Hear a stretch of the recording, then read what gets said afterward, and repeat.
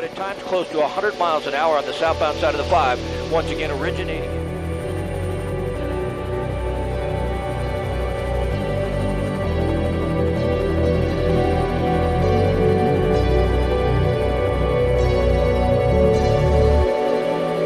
Times, if they travel too high a rate of speed, they'll lose control of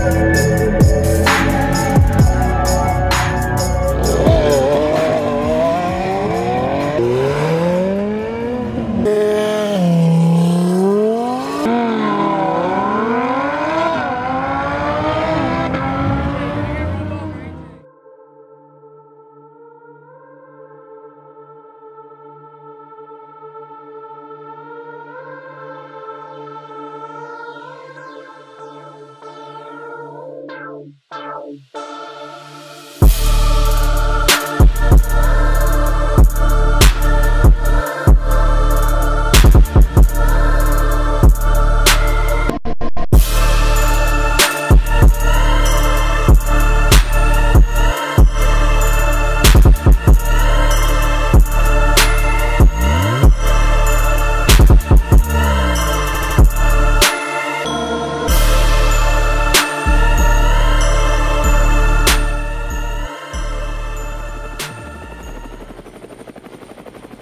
looks like they have an air unit uh, overhead as well. So.